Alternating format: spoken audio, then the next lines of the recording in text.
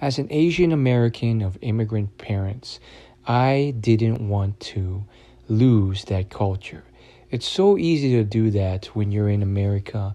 You adopt American foods, American traditions, and so forth. And I didn't want that to happen to me over time.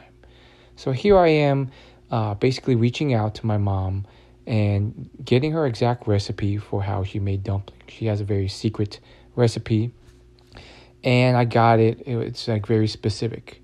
She also showed me how to make a old Chinese dessert um, that has uh, sweet red bean paste in the middle, and uh, you know that requires some baking.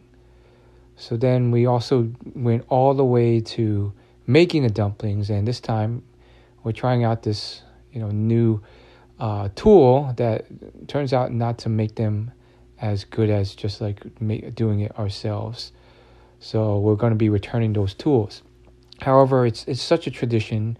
Uh, we, I've done it my whole life. I've seen her make dumplings with family her whole life, and um, it's just like crazy how much people lose their culture. I mean, I've talked to uh, tons of people eh, who who tell me they're losing their Spanish uh, in America. So it's it's important to keep those traditions.